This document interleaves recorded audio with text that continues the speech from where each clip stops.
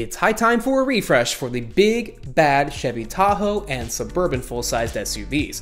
Now borrowing front-end design cues from the midsize Colorado as well as the GMC Twin, the Canyon, these now have more of a familial feel, but they don't stray far at all from what makes them stand out from the Ford Expedition and the Jeep Wagoneer. Now the rear end gets a massage as well with updated LED lighting. The Tahoes are a traditional red, but the Suburban gets a Euro-style white smoky finish. The two gas V8s carry over, but the turbo diesel gets an update with more power, but it's inside where the biggest changes occur. Now on all trim levels, you'll find the company's latest dash design with a 17-inch main display and a full LCD instrument cluster, and Super Cruise returns as well, but now it's available on all trims but the base LS. Other updates include the availability of 24 inch wheels, new exterior colors, improved ride and handling characteristics, and enhanced trailering features.